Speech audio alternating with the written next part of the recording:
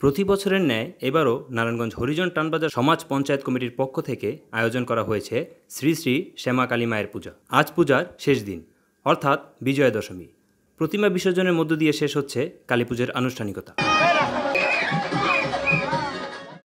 কালী পুজো উপলক্ষে হরিজন পঞ্চায়েত কমিটির পক্ষ থেকে হরিজন সমাজে প্রসাদ বিতরণ করা হয়। কালী পূজার আনুষ্ঠানিকতা বিষয়ে হরিজন সমাজ সেবা সংঘের নবনির্বাচিত সাধারণ সম্পাদক মামুন চন্দ্র দাস প্রতি বছরের ন্যায় এই বছরও আমরা কালী পুজো করেছি আর তার পাশাপাশি আপনার গিয়ে আমরা প্রতিটা ঘরে খিচুড়ি বিতরণ করেছি আর তার পাশাপাশি আপনার হয়তো আমরা এই বছর ওইভাবে করতে পারি নাই, কিন্তু আগামীতে হয়তো আমরা আরও সুন্দর ও আরও উজ্জ্বলমুখী পূজা করার চেষ্টা করব। আর সবাই আমাদের জন্য দু আশীর্বাদ করিবেন। প্রসাদ বিতরণ শেষে টানবাজার গুদারাঘাটে প্রতিমা বিসর্জন দিয়ে চার দিনব্যাপী এই পূজার আনুষ্ঠানিকতা শেষ করে। Sabbir Ahmed, N A N TV, Narayanganj.